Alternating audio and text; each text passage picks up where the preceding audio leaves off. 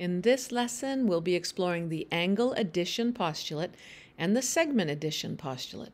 But first, let's start by reviewing how we measure angles. This is angle ABC. It looks like a right angle. We suspect it has a measure of 90 degrees. But to lay a protractor on the angle, we want to make sure that the center of the protractor is right at the vertex of the angle, that the zero degree mark on the protractor is on one of the two rays, and the other ray you can see indeed goes through 90 degrees. So ABC is a right angle. It measures 90 degrees.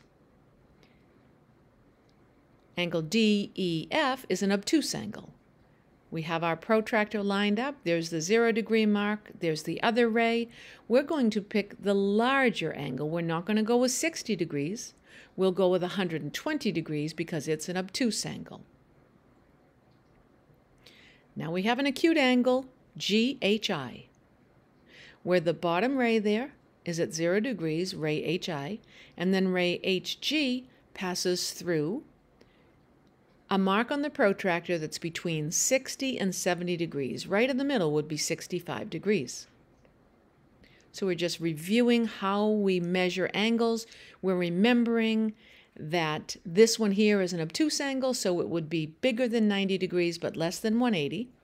My zero degree mark this time is at the left-hand end, and ray QR passes through 150 degrees.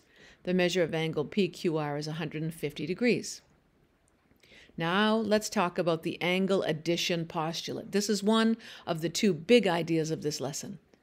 It says if point D is in the interior of angle ABC, then the measure of angle ABD plus the measure of angle DBC is equal to the measure of angle ABC. In other words, part plus part equals whole. So this is when we have two angles that are adjacent. And you'll notice on this slide, there's four problems, all having numerical values.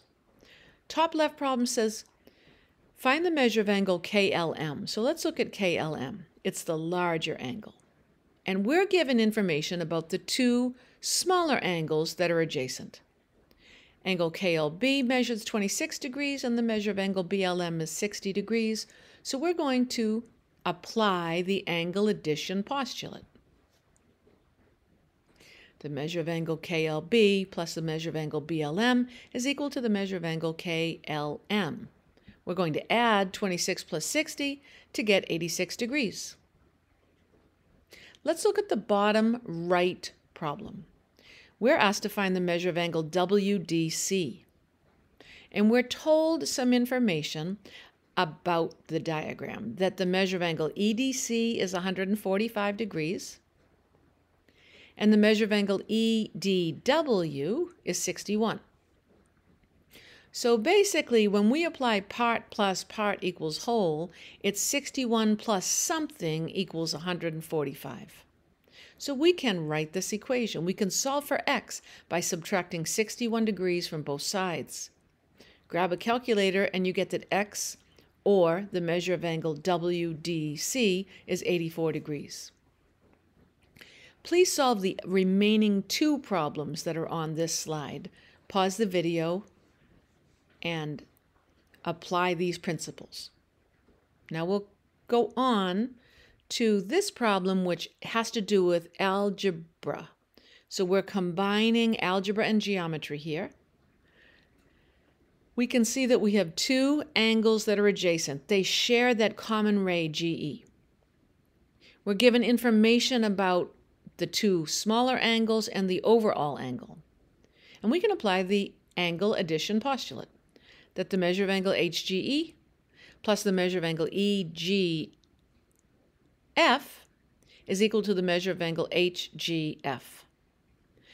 We're going to substitute in the values that were given. 3x plus 11 plus 110 is equal to 16x plus 4. And this is where you bring in your algebra knowledge from prior years. We are going to combine like terms on the left-hand side of that equation. Let's add 11 plus 110. Now let's subtract 3x from both sides of the equation. And we get 121 is equal to 13x plus 4. We're going to subtract 4 from both sides of the equation, leaving us with 117 is equal to 13x. Now to solve for x, let's divide both sides of the equation by 13. And with a calculator, we get that x is equal to 9. Always look back. What was the problem asking you for? It said find x. So the answer here is x equals 9. Sometimes the question will ask you for something else, like find the measure of angle HGF. You have to be aware of the direction. We're going to move on to the segment addition postulate, closely related to what we were just doing. But this time, instead of two angles that are adjacent, we have two pieces of a line segment, which, when we add them together, equals the length of the whole segment. And notice the points A, B, and C are collinear. So point B is between A and C. And we get that AB plus BC is equal to AC. Once again, part plus part equals whole. Let's start with some numerical examples. The example on the top left, we see segment AC, which is, and point B there is in between points A and C. Some length, AB, plus 5 is equal to the overall length of 13. So this is just mental math. What number plus 5 is equal to 13? That would be 8.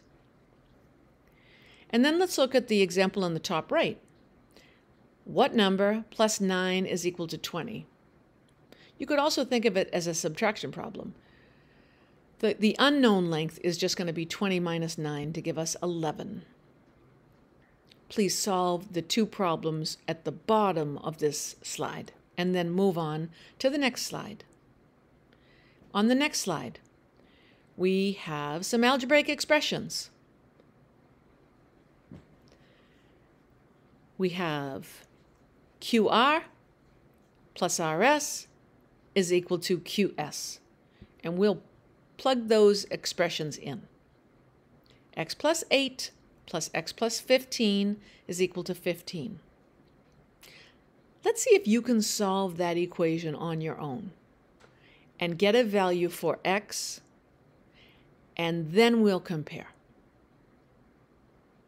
So first you should combine like terms.